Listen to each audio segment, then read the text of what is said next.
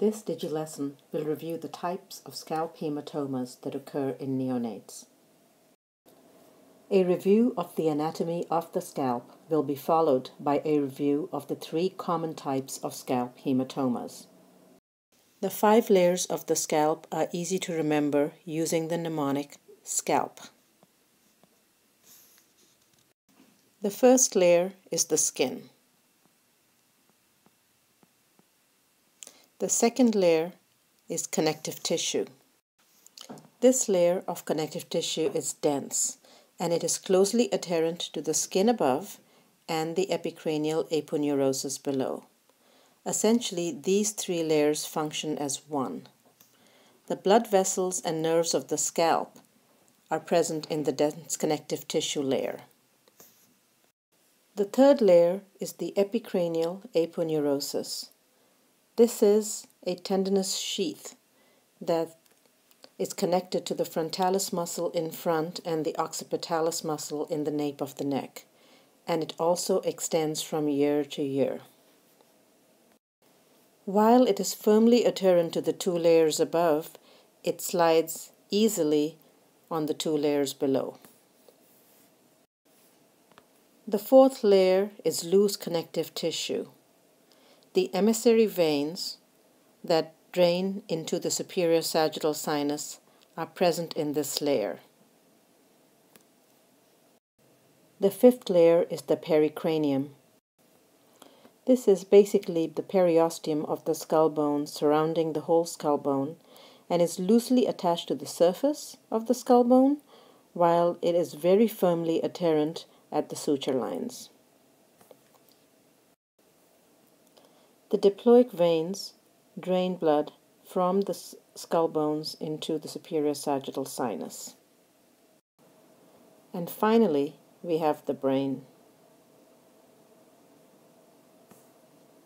Armed with the knowledge of scalp anatomy, it should be easy for you to understand the three different types of scalp hematomas that occur in neonates.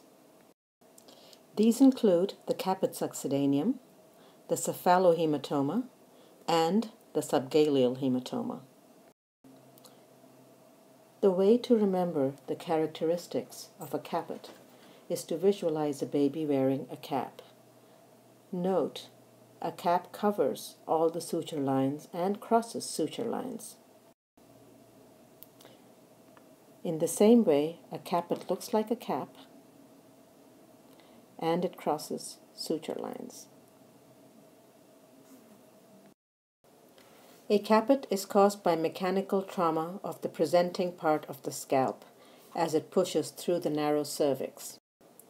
There is usually some associated skin bruising that may make a caput look like a hematoma, but it is not a hematoma.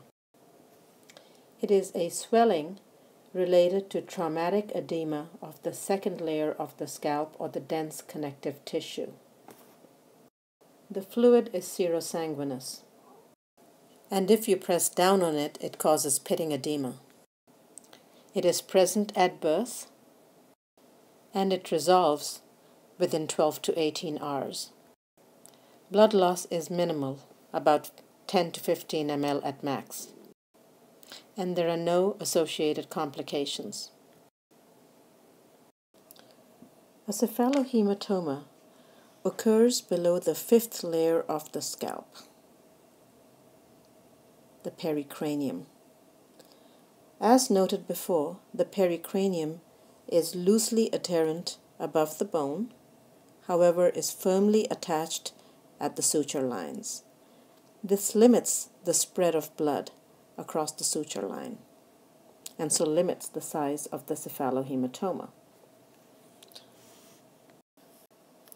However, since the parietal plate is very large, there can still be significant blood loss from a cephalohematoma. Note the cephalohematoma in this baby. Very clearly demarcated and not crossing the suture line.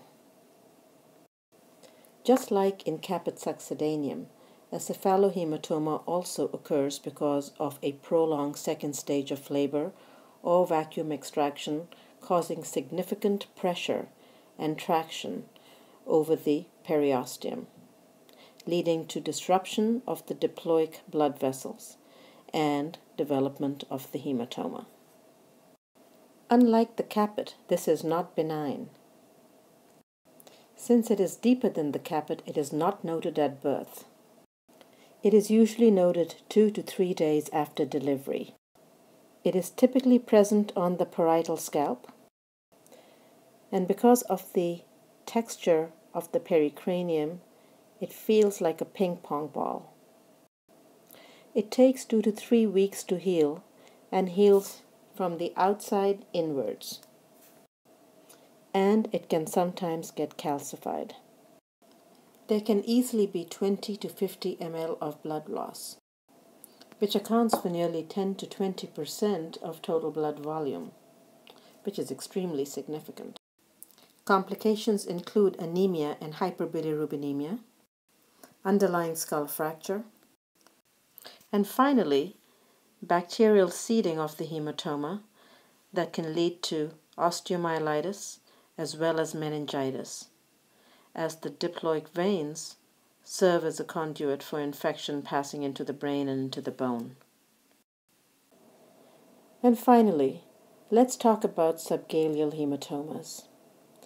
These are a diffuse subcutaneous hematoma that occurs below the third layer, the epicranial aponeurosis, and above the pericranium.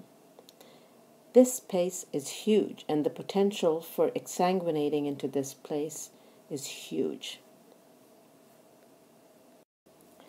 Anatomically, the space extends from above the frontal bone down to the occipital bone and from one year to the other year on the other side. Blood can fill in to this whole space, and a child could essentially exsanguinate into this potential space once the bleeding starts. Also note kind of the year to year spread. The cause is the same as the other two hematomas, a difficult vacuum assisted delivery, or a prolonged second stage of labor, specifically in the occipito-posterior position. A subgaleal hematoma can be catastrophic. The good news is that it is rare, occurring in 4 to 25 per 10,000 live births. Although present at birth, it is not initially noticed because it is so diffuse. It usually presents around 3 days to 1 week. An infant can essentially exsanguinate into the skull, losing their full blood volume in a matter of days. This can lead to serious hemorrhagic shock, coagulopathies, anemia jaundice, skull fracture, and intracranial bleed. These neonates will require aggressive resuscitation, and if the diagnosis is missed, they can die. In closing, when you see a neonate with a scalp hematoma, you need to get a good birth history. Specifically, whether this was a difficult delivery, a vacuum extraction, or a prolonged second stage of labor. It is important to know when the hematoma was first noted. If it was noted at birth and is getting smaller, it is probably a caput succedaneum. If it was noted at birth and is getting larger, it's probably a subgaleal hematoma. If it was not present at birth and is now noted at two or three days of life, it is probably a cephalohematoma. If there is a large hematoma, always worry about an underlying skull fracture. Finally, if the child looks unstable and sick, consider a subgaleal hematoma. These neonates will require aggressive resuscitation for hemorrhagic shock, to include your ABCs, IV access, type and cross match, CBC, coagulopathy screen, a total indirect bilirubin, electrolytes, skull x ray, and potentially a CT scan of the head.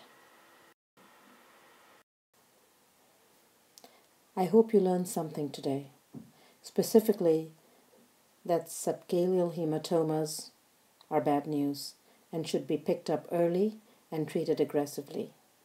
Thank you.